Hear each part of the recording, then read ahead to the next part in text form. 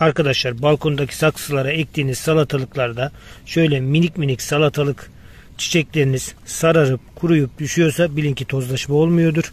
Bunun için şurada bakın arkasında salatalık olmayan çiçekler var. Bu çiçeklerden bir tane koparıyorsunuz.